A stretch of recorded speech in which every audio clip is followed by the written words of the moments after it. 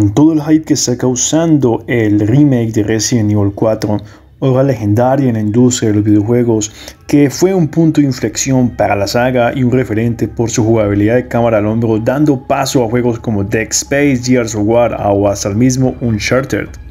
Es por esto y más detalles que traigo este mini documental del canal donde exploraremos el desarrollo del Resident Evil 4 original, sus dificultades, sus logros, su importancia en la industria, repasaremos su historia y el impacto que ha dejado en su saga.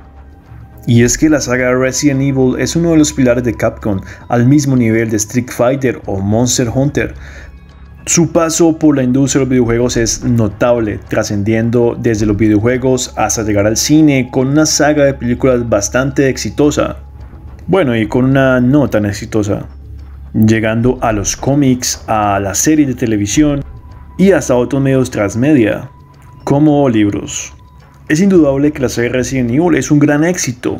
No obstante, antes de 2005 el panorama era un poco más neblinoso.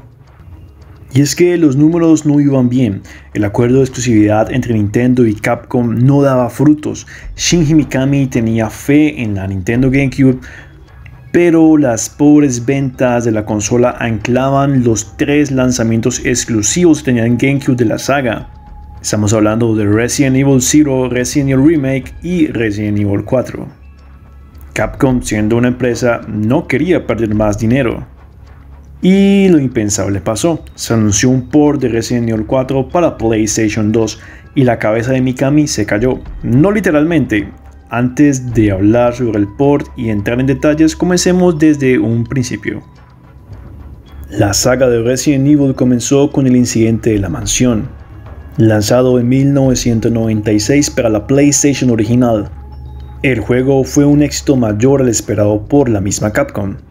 La historia de Chris y Jill vendió una cifra de más de 2 millones y medio de unidades. Claro, con esas ventas pusieron casi que inmediatamente en desarrollo una secuela, esta vez con la historia un poco diferente. Se centraría en el buen Leon Scott Kennedy y una universitaria llamada Elsa Walker. Aunque esa versión inicial no vio la luz, se reemplazaría a Elsa Walker por Claire y dando lo que era un enlace hacia la saga principal la pondrían como la hermana de Chris Redfield. Así nacería Resident Evil 2, otro éxito para Capcom venciendo en ventas a títulos sumamente importantes en el momento como Final Fantasy VII y Super Mario 64. Y es que Resident Evil 2 con casi 5 millones de copias vendidas, nadie ponía en duda una tercera entrega. Aunque aquí comenzaron los problemas, Capcom y Shinji Mikami, director de la saga, no se ponían de acuerdo con el futuro de la misma. Shinji ya quería pasar la saga a la siguiente generación de consolas y comenzó un proyecto con la Sega Dreamcast, mientras los ejecutivos de Capcom veían un mercado establecido en la PlayStation de Sony, entonces comenzaron un desarrollo para la PlayStation. Con esto querían cerrar con números una trilogía en la consola, por ende Resident Evil 3 sería lanzado en la PlayStation original, contándonos las peripecias de Jill y Nemesis, cerrando la trilogía de la saga, mientras que el código Verónica sería lanzado para la Sega Dreamcast. Hay que decir que ambos proyectos no lo hicieron nada mal, Capcom sabía el potencial de su saga, aunque parecía que la fórmula ya no se destacaba. Las cámaras fijas comenzaron a parecer algo obsoleto. Inmediatamente después de esto comienza el desarrollo de la cuarta entrega en 1999. Capcom quería algo novedoso, quería recobrar el interés del público. El seleccionado para dirigir este proyecto era Hideki Kamiya, mismo director de Resident Evil 2. Este quería trabajar una historia con Leon Scott Kennedy, Comenzando el desarrollo, según lo que he podido investigar, era algo bastante distinto a la versión que fue publicada, tan diferente que se separó totalmente de la saga, dando origen a la franquicia de Devil May Cry y el buen Leon se transformó en Dante. A pesar de que las ideas para Resident Evil 4 se reciclaban y daban vida a otros juegos, eso no implicaba que el ciclo de desarrollo fuera sencillo, fue realmente bastante caótico teniendo que reiniciar el desarrollo una vez luego del lanzamiento en 2001 de Devil May Cry. En el nuevo desarrollo nuevamente se centró en Leon y esta vez el escenario sería un castillo, donde Leon se infiltraría. Esto fue anunciado en el 2002. También fue anunciado como parte del proyecto de exclusividad con Nintendo GameCube. En esta versión, Leon se enfrentaría como a espectros, fantasmas y a una niebla que lo estaba persiguiendo. Muy al estilo de Silent Hill o Alone in the Dark. Y ese era el inconveniente, ese era realmente el problema. Por estas razones, esta versión fue dejada de lado, reiniciando una vez más el desarrollo desde cero.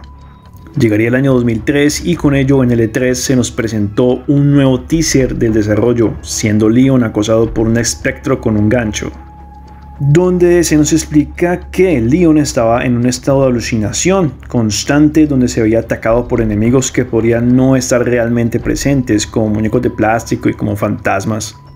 Todo realmente muy extraño. Es aquí donde vemos por vez primera la mecánica donde Leon dispara y estamos a la altura de su espalda. Nuevamente, esa versión no convenció a la gerencia de Capcom y decidieron comenzar nuevamente desde cero la idea de la alucinación se descartaba. Para esos momentos Resident Evil 4 se había convertido en un verdadero dolor de cabeza para Capcom, un proyecto interminable y en este caso también una fuga de dinero interminable. Se le pidió al gran Shinji Mikami tomar la dirección del proyecto nuevamente. En esa nueva versión la cámara vista en la versión anterior se quedó, Mikami quería una jugabilidad enfocada en la acción y con la cámara situada detrás de Leon se abría la posibilidad de combatir varios enemigos al mismo tiempo, disparar a diferentes partes del cuerpo y hasta contraatacar. En esta versión desaparecieron por completo las criaturas espectrales a las cuales estábamos acostumbrados en los desarrollos anteriores y fueron reemplazados también los zombies por ganados humanos infectados que pudieran hacer planes para emboscarte, dejando un poco el terror de lado, pero conservando las grotescas mutaciones y escenas de muerte. Incluso hay ganados especiales como el Dr. Salvador o las hermanas Bella que pueden eliminarnos de un solo golpe. La atención era real, hijo, al escuchar una sierra eléctrica venir a por ti. Su historia esta vez no va sobre un brote vírico, se nos introduce el concepto de las plagas, parásitos capaces de tomar el control sobre un huésped y actuar como una mente colmena. El líder del culto de los iluminados, Sadler, controla esos parásitos, con ello quiere dominar el mundo y para esto secuestra a la hija del presidente. Leon es enviado con la misión de rescatar a la hija del presidente, todo eso transcurre en una zona rural de España.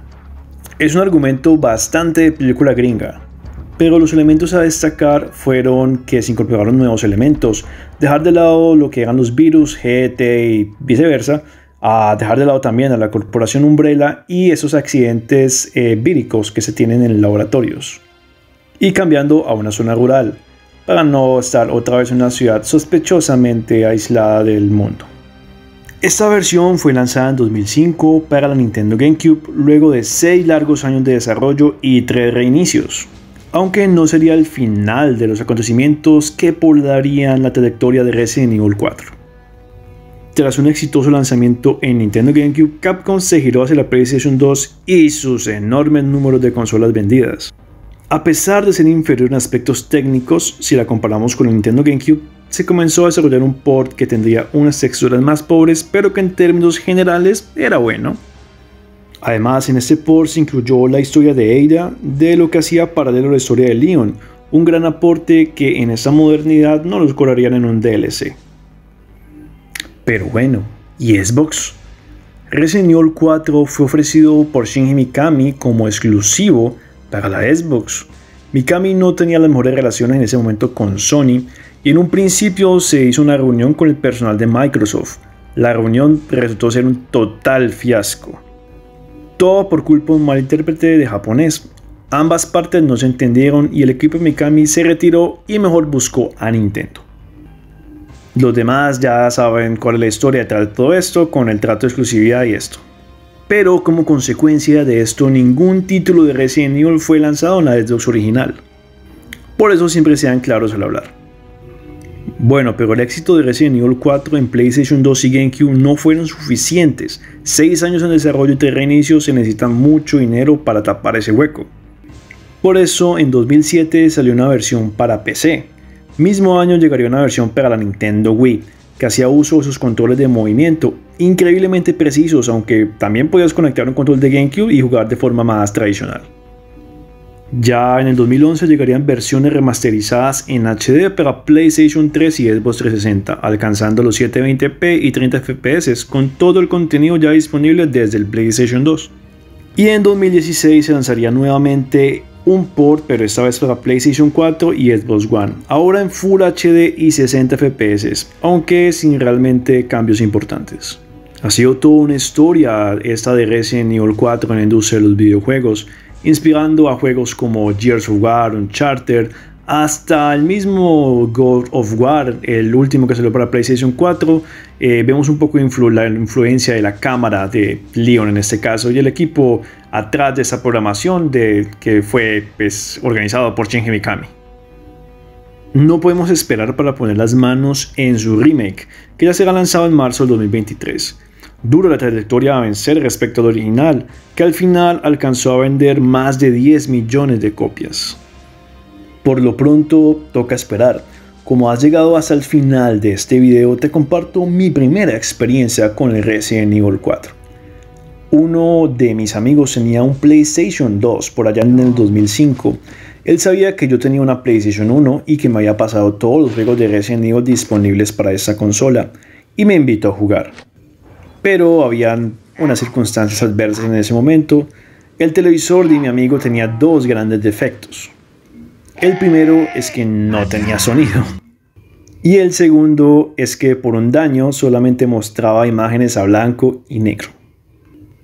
Terrible todo, yo sé. Sumándole a esto, yo estaba realmente muy acostumbrado a las cámaras fijas, por lo tanto los aldeanos me eliminaron en el primer intento.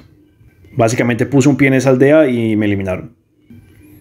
De nuevo te agradezco por llegar al verdadero final del video. Cuéntame en los comentarios la primera vez que jugaste Resident Evil 4.